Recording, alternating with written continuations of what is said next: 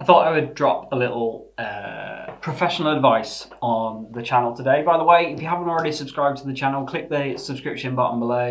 Um, then you'll get updated and stuff when I upload new videos, which at the minute is about once a week, um, give or take a few, uh, and then you don't miss out.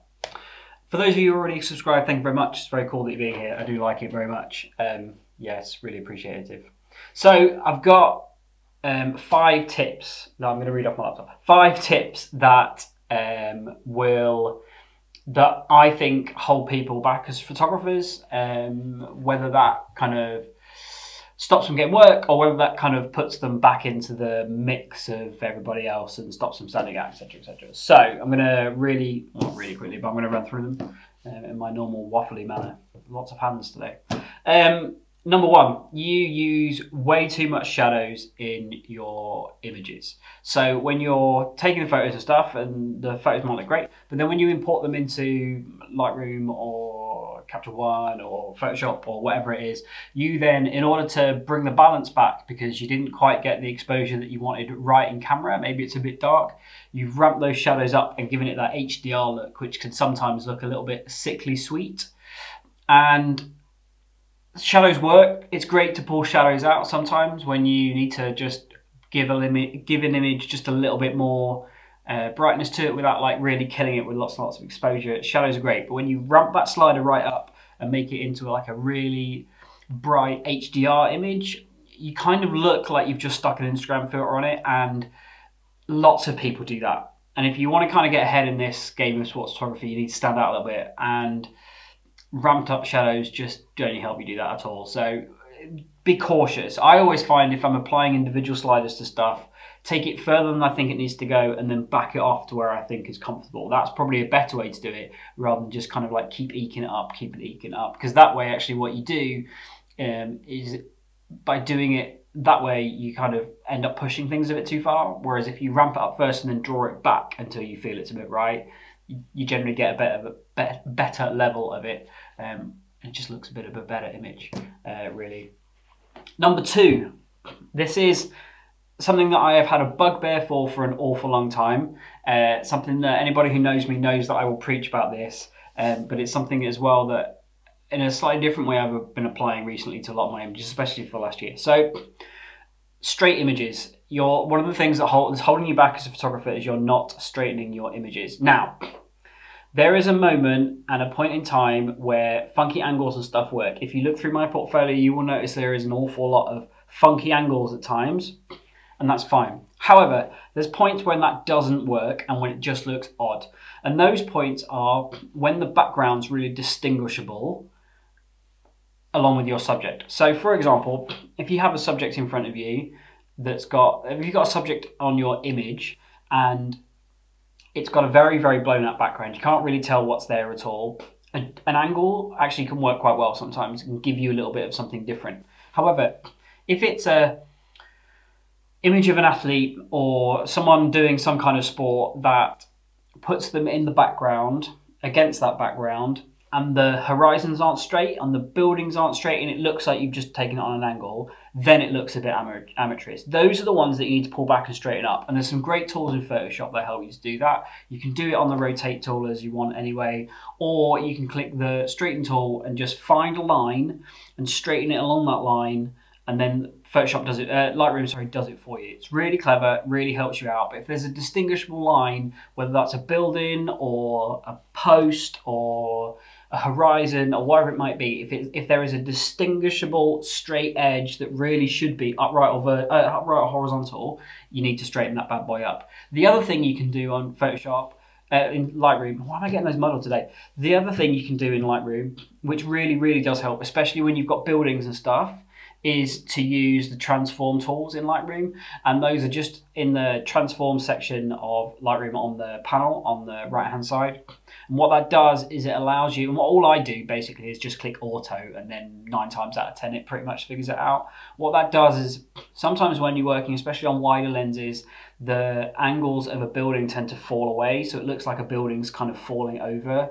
And actually what you want to do is you want to bring that building upright and straight. And what the transform auto stuff does in Lightroom is it just straightens up those buildings and maintains pretty much nine times out of 10 maintains your subject in a relatively nice way. So it works really, really well. But that's definitely uh, something that a lot of photographers hold themselves back on is that they don't straighten up those images that need to be straight. Sometimes you can get away with a jointy angle, but for those times when you can't, you really need to straighten them up. It makes a huge difference.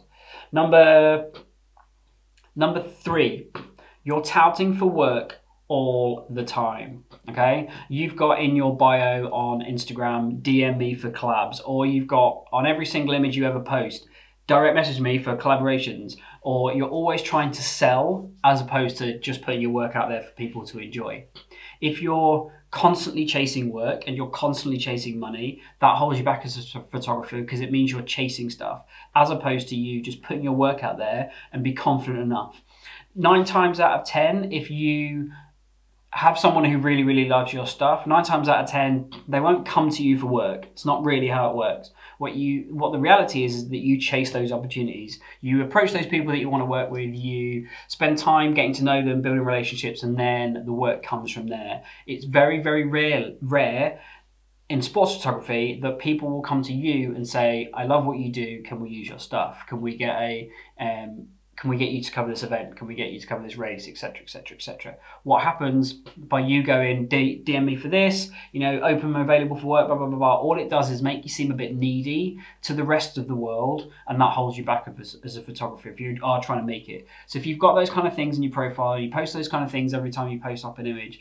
Be aware, be careful. It can come off as really really needy and hold you back. Number four, you have an ugly ass watermark. It's too big, it's too prominent, it is right across the middle of your images, or you've got thousands of them across your image in order to stop people stealing your work. Okay?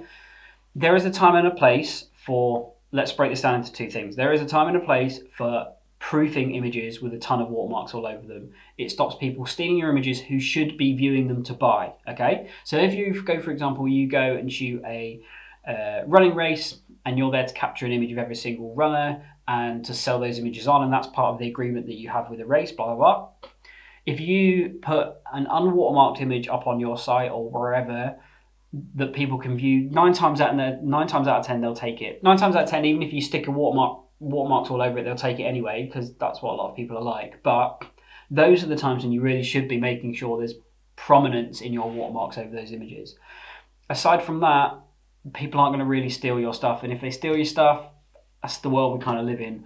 Watermarking it with an ugly ass watermark that you spent no time, no attention, no care over will hold you back. Makes you look a little bit amateurish. Makes you look like you don't quite know what you're doing. You haven't quite got that professionalism. If you want to add a watermark, and I've had them throughout the years, I don't tend to watermark now unless I'm working for uh, brands who specifically want their images watermarked with certain stuff, which is fine.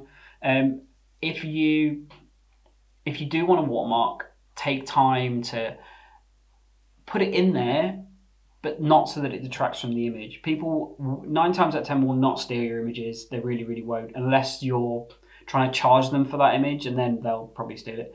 But like just posting it on Facebook or Twitter or Instagram with a massive, huge, great big, ugly ass watermark on it just makes you look a bit tacky as a photographer. So refine it. If you want on there, great. Just refine it and make it look really, really cool. There's a guy, uh, photographer I follow, an American motorsport photographer called Jamey Price. I'll link his stuff uh, in the in the below, in the below, in the comments and stuff. His stuff is ace. He's got some beautiful, beautiful work. But his trick for watermarking is he will put very, very, very transparent uh, watermarks of his name randomly throughout the image, so that you don't really notice it on the web, so it doesn't really detract but what happens is when people then take that image and try and print it, that's when the watermark shows up because they blow that up and then the watermark becomes noticeable. So little subtle tricks like that. If you're really worried about it, go subtle and go down that route. If you're going to have a watermark, make sure it's refined. Make sure it reflects the kind of professionality, professionality, professionalism that you want to portray, and not kind of like just a bit amateurish and not really sure you know what you're doing. Number five. Number five. Five, you are not showing your work because you don't think your stuff's as good as everybody else. And this is going to hold you back as a photographer more than any of the other things that I've talked about. If you have if you have work, put it out there. there are going to be people better than you. There are going to be people who are worse than you. But if you want to get ahead as a photographer, if you want people to notice your work, you need to put your work out there, whether you think there are people better than you or not. Getting over that fear of sharing the work that you think is good is a really important thing. You have to do it regularly. The more you do it, the more comfortable you get with just posting it. The less you tend to compare yourself to other people, which is what holds a lot of us back.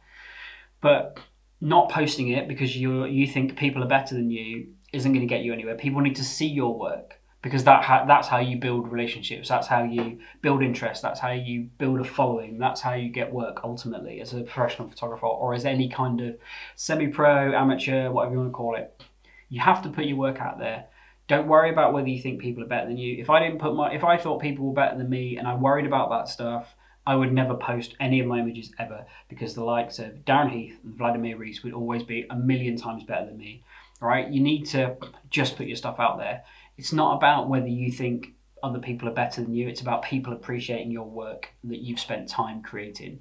So put it out there. Be brave. Just do it. Otherwise, you're just going to hold yourself back as a photographer. So five tips um, on why, or five things that I think people will get held back as photographers on, and it isn't just sports. It mainly is sports, obviously, for this channel, but it isn't just sports. It's portraiture, it's landscapes, it's weddings, it's all sorts of stuff. So don't hold yourself back. Put yourself out there, have some fun. It's it's all about having fun, about enjoying yourself. Otherwise, what's the point? Peace out.